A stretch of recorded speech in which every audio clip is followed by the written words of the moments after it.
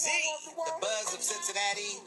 Lincoln Ware with you till 2 o'clock this afternoon, and we're getting there pretty fast. But right now, in the studio with me, none other than the mayor of Kansas City, Sly James. And welcome to Cincinnati. Well, thank you. It's great to be here. Nice city. Oh, yeah. I, you know, it kind of reminds me of Kansas City a little bit. I mean, you know, if you look at the suburban areas, and, you know, it's, it's sort of on the same plane. Absolutely. Yeah, I yeah. agree. I think we have a lot of things in common, one of which is our desire to do something that transforms cities, and that's build that first modern streetcar line. Now, how hard was it for Kansas City to get a streetcar going? It- Oh. was, it, was it as hard as it is here in Cincinnati? Well, it's kind of hard to say how hard something is someplace where you're not at, but I will say this: uh, we certainly had our cavemen who uh, who opposed it, and uh, and by cavemen we mean simply citizens against virtually everything.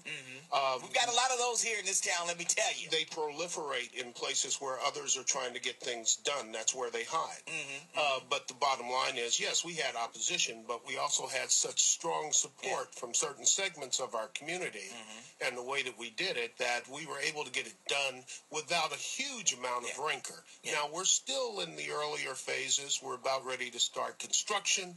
And uh, as we start to expand the line, which is inevitable, uh, then I'm sure that we'll see more cavemen come out. Yeah. Now, what about uh, the, along the route of the street? So, is it up and running now? Parts of it? Okay, you're still in the building phase. We're still in the building Okay. phase. We just received the $20 million uh, Tiger grant from the federal government. Um, it was uh, something that was extremely uh, needed and helpful. Uh, but we expect to be up and running by the midsummer or early fall of 2015. Now, what about the businesses along the route? Has the property values gone up? Have people started to uh, get ready to open businesses already? How's that phase going? Well, let me just read a couple of things to you. Uh, there's an out, out of town developer from Boulder, Colorado, uh, who's planning to build a 45 to 50 unit apartment complex along the route. And his quote in the paper was The streetcar is the big reason that drew us. Absolutely. We like the demographics and the economic trends. I walked the area. I liked the site. We're big believers in markets away from the coast. We're looking at what we consider to be big league cities, not Chicago or Houston, but places like Denver, Kansas City, and Cincinnati, particularly with the momentum of transit oriented development. So that's a new building that's going up. We have a new 331 unit apartment that's going up adjacent to the streetcar unit, uh, uh, uh, streetcar line. Across the street from that, a renovation of an older existing building with another 75 units. In all, by 2015, we'll have an exist a new set of 1,500 residential units. We will also have several businesses that are going up. Now, what has been the uh, you know the outcry against it in your town? I know people saying nobody's going to ride it. Uh, it's going to cost the city so many million dollars a year to operate it. Uh, were you guys hearing the same things? Well, of course we do, but here's the thing that people seldom uh, talk about, and that is it costs the, the biggest subsidized mode of transportation are cars and buses. Mm-hmm. Mm-hmm. All right, if they want to see where money is really spent, tell them to start looking at how much money is spent on keeping roads up and highways up, and, and making sure the vehicles and buses run. Uh, every mode of transportation is subsidized to some extent. That's across the country. It's mm-hmm. never been any different. It's not going to change. And we had people who don't believe in things until they actually Yeah. see them. Yeah. But all they have to do if they want to see is go to Seattle, mm-hmm. go to Portland, go to Denver, go to Dallas, go to Minneapolis. Come to Cincinnati here in a couple years. Come to Kansas City. You will see what happens. Go to Charlotte where there's absolute proof. Yeah, yeah. Now, the interesting thing about Charlotte, the new uh, Secretary of Transportation, Anthony Foxx, was the mayor of Charlotte. Yes, yes, yes. And we spent some time down in Charlotte about two years ago on a chamber tour from Kansas City. And what we saw was the photographs of the area where they put in their last streetcar line before it went in and the photographs after. We actually went out and saw what it was like after. Let me tell you, if you have any doubts about transit oriented development, then go to a place like Charlotte and look. Go to Portland and see that they've had over $6 billion of investments in the last five years within a block or two of the streetcar line. Well, you know, in this town, I mean, years ago, we've got an un- we've got an unfinished subway in this town. Yeah. You know, and I'm just thinking, How's that working out? Uh, you know, I'm saying if we had just think what the city would be if they had completed that underground subway, we would be, uh, you know, you talk about major league city, we would be a major league city if they had completed that underground subway. I do believe. Well, you know what? I was talking to Liza on the way over, and we talked about the fact that about 20, 25 years ago, the federal government was having these big transportation parties. Started at about 7 o'clock. If you got there around 7 to 8, you could get a door prize of hundreds of millions of dollars for transportation. Now, Kansas City had a reputation at that time as never missing an opportunity to miss an opportunity. Yeah, that sounds And- like Cincinnati. And so we got to the party at 11 o'clock, and the beer's gone. There's potato chip left, and the money's all gone. Now we're waiting. While everybody else who got that money, Mm-hmm. Yeah. look at what they've done. yeah, yeah. They built systems that have transformed their entire cities. It takes tremendous, strong, courageous, visionary leadership to be able to hold tight to a vision like this while others are pushing back and talking about Yeah. the short term issues. If you're going to be a first class city, you have Yeah. to make first class investments. And again, how's that unfinished subway working out for the city now? Uh, yeah, yeah, yeah. I'm telling you, I mean, we missed out on a big opportunity. And- uh, and some of those people who were living back then, their kids are fighting against the streetcar right now. Their kids and grandkids are the same people fighting against the streetcar right now. Well, I will tell you with uh, probably a great deal of assuredness that after the streetcar is up and running and everybody wants one in their very own backyard, that those people who are fighting against it will be the ones saying it was my idea in Yeah, the first yeah, place. yeah. We all know how that goes. But that's what leadership is for. You can't get distracted by the people who are constantly going to complain and gripe and be negative. Mm-hmm. Good leadership in this day and age, we should be able to see the difference between good leadership, which comes at the city level, versus the leadership we get at the federal level. They're not getting anything done.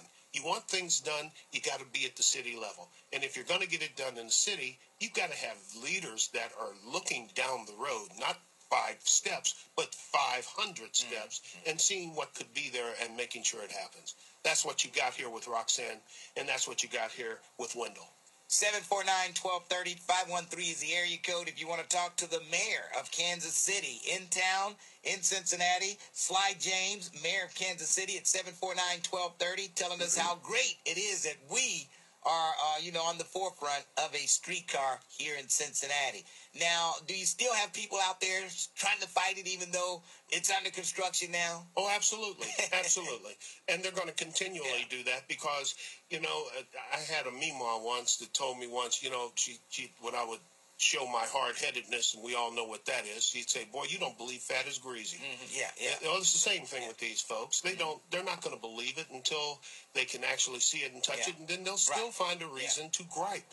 Now, what's the what type of uh, city government do you have in Kansas City? Strong mayor, city manager type? What? We have a um, um, council manager form of government with, Mm-hmm. uh, in, at least in my administration, as strong of a mayor as I can get away with being. Yeah. Okay.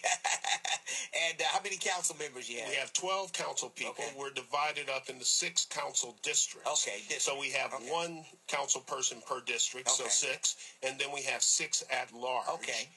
And uh, then I vote. So we have 13 voters in the legislative aspects of, uh, of the council. And, and I think uh, I like that uh, district type of government. I do think that's what we need here in Cincinnati. I think we could get a lot more accomplished, and I think people would be uh, a lot more satisfied with the way government works if you had one person in your district that you could hold accountable for your district. Well, I think certainly think you can make an argument for that. I think, that, frankly, it's going to be a matter of who's in the office because basically, if you've got the right people in mm-hmm. office, they don't need to have a district to be responsible to constituents. Mm-hmm. You know, good mayors don't have a district; Right, right. they have a city, and they need to be responsible to everybody in that city. Mm-hmm. But I understand the point of district representation; it cuts it down a little bit, Yeah, narrows the yeah. focus. Mm-hmm. But you always have to make sure that somebody is watching out for the whole mm-hmm. Yeah. because we can't let the district divisiveness. I want my share, you get your share. Yeah. You That's know, why you got the other six at large, I guess. That's to, right. To, to balance it out. Well, you have to. Somebody's got to watch the whole, and others got to watch the the districts. Mm-hmm. Each district has its own needs, its own issues and peculiarities that we have to address. but the city as a whole will not survive if we get into dividing everything Yeah. by 6 Mm-hmm. All right. All right. Uh, 749-1230. June, you have a question for the mayor Yes. of Kansas City. Mayor of Kansas City. I, I, I don't think you really understand why there's been such an opposition to this. And the opposition is that we can't afford it. We're a city that's been dealing with budget crisis. We've, we're a city that's been selling off our assets because they're saying we need money. So in our situation, we're spending over, well into over a $100 million while other issues are not being addressed. So let me ask you, now when you, did you all put your, your streetcar issue on the ballot for your citizens to vote for uh, straight up or down? Yep. Okay, well, in our city, they use trickery to get their ballot issues passed. It was on there And- twice, June. It was on the ballot twice, and it passed both twice, times. And both times, trickery was used because it wasn't a straight up or down vote. Yes didn't mean yes, and no didn't mean no. It was a confusion where no meant yes and yes meant no.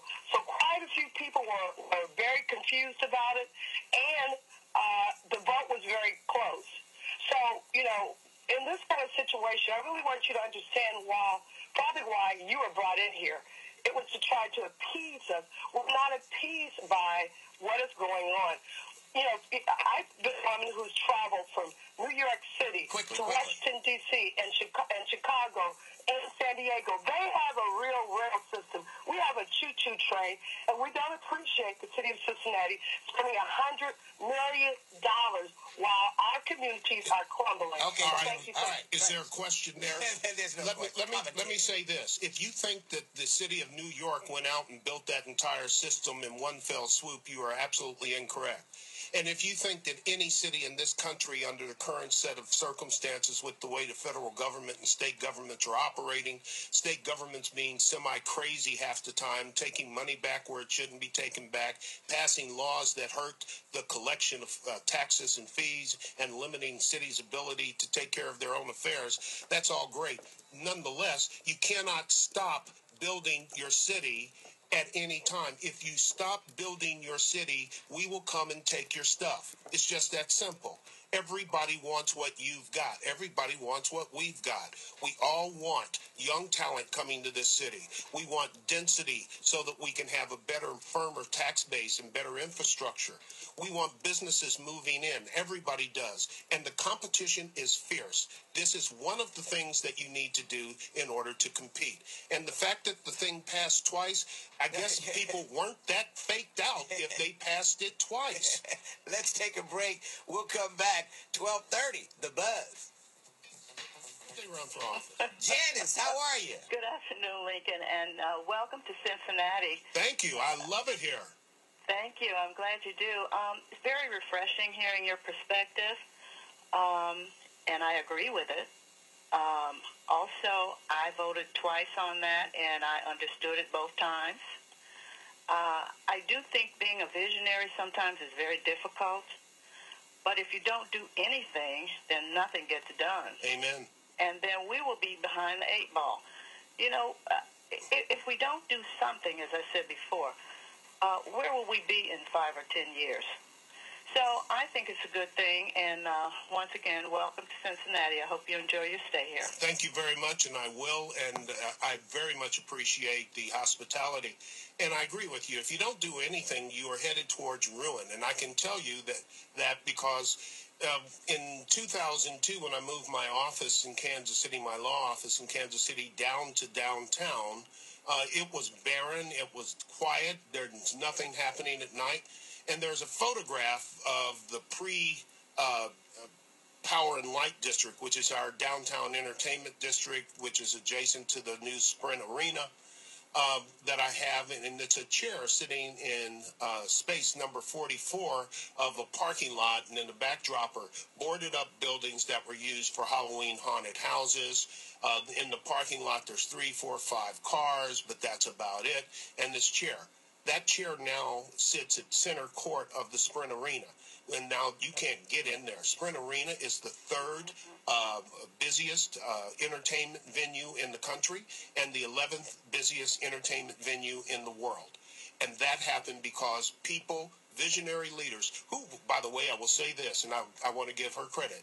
Kay Barnes was a visionary woman who got this done, and she had to fight tooth and nail every inch of the way. And now the same people who opposed her are taking credit for Yeah, it. yeah, yes. One last thing, Lincoln. I would like to say too that it was refreshing to hear Miss Dillingham. Yes, yes. Uh, and if you know, sometimes when we continue to get the same uh, ideas and things uh, recycled, we continue to get the same ideas and uh, and things uh, done. So it's good to hear someone new with a new vision and some new ideas coming in to uh, to uh, participate. So All right. Hey, Been a Janice, very good thanks for your call. Thanks for your call. Appreciate Thank you very much. All right, let's move along. Looks like uh, T-Bone is up. T-Bone, then Ernesto, and uh, we may have time for one more caller after that. Go ahead, T-Bone, real Hello, quick. Lincoln. Hi to you and your guest. Hello, Here's sir. what I would like to say to you, uh, sir. You may not be uh, up on the current events. You are you are into current events, but there were past events that made us not want this. Um, the people who voted against this streetcar was because we had entered into so many bad deals. Our county put two stadiums in our city that we're still paying for, and they were losing teams at the time. And we got to pay to get in, and it's a bad deal. To, that's an all the way bad deal. The African American inclusion, when all these projects has been like over a million, a billion dollars been spent, and African Americans ain't seen a million of it. So Lincoln knows all this stuff is true. So for some of the people have made so many bad decisions prior to now that when the streetcar thing came up, the amount of miles had changed. They told us it was going to be uh, five miles, three miles, then down to two, and in the general Well, area I mean, th- there were reasons for that because the, the, the, the governor took away, what, 25 million? And, uh, you know, so there were reasons they had to cut the route. I hear what you're saying, T-Bone. We're running short of time. Thanks for your call. I mean, he makes a good point there. Well, you know what? One of the things that every mayor in this country does is deal with decisions that somebody made 10, 15 years ago. That's part of the job. Mm-hmm. So what? Somebody made some bad decisions down the road, if in fact they were bad. So you're going to stop doing anything? You know, you, you're going to cut off your face to spite your nose, or cut off your nose to spite your face, whichever way it works. Bottom line is, you can't stop trying to get better. And I hope that you are now getting into the stadiums free since Cincinnati is winning. yeah. Uh, somebody sent me a text message says uh, they'll be in Kansas City for the Black Expo in Oh, good. November. Outstanding. Yeah. Man, got his name is Otto. He'll he'll be working the stage. Fantastic. in Kansas City. I'll try to remember to look him up. you Oh, got yeah, about uh, one minute, Ernesto. How you guys doing? Uh, listen, uh, uh, uh, current mayor, current vice mayor Roxanne Qualls own, she owns a uh, part owner in a real estate company that's buying property along the streetcar route. And what about you, sir? Do you have any investments in a, a real estate company or a construction company? I'll hang up list of my answer. Thanks for your call. I don't have any money, so I don't have any investments in anything. Um, I am the mayor of a city, and I don't have any investments in anything except my law firm, uh, which at this point in time is limited fairly much to doing mediations. And I think that you ought to be cognizant and careful about the implication of your statement without facts. The fact that she may have an interest doesn't mean that she has a conflict of interest. All right, that's spoken from a lawyer right there. That's a lawyer right there. Sly James, thank you for joining me this afternoon. My really pleasure. appreciate it. It's been a it. blast. I'll have to look you up if I'm ever in Kansas City again. I will. you do that, and we'll find you some barbecue. Uh, all right, Frankly, you can throw a stick and hit barbecue, and you'll love it. there you go. All right. That's going to wrap it up for me for a Friday. Don't forget, I'll be broadcasting live out of Jeff Wyler, Route 32 in Batavia, tomorrow from 11 till 1 instead of the normal 12 to 2. I'll be there from 11 to 1. Yes, Mayor. I just want to say one last time before I go. I've had a chance to spend some time with Councilman uh, Wendell and with uh, Vice Mayor Qualls, and I just want to make sure that you understand that these people, uh, they're not perfect. None of us are. But they certainly are trying to do the very best they can for this city. They believe deeply in what they're doing. They're committed, and they're going to keep fighting to try to get the right thing done, and that'll benefit every single person in the city. All right. Thank you, Mayor. Appreciate it. Uh, appreciate you coming on today. And it's been enlightening, that's for sure. That's going to do it. Al Sharpton's coming up next.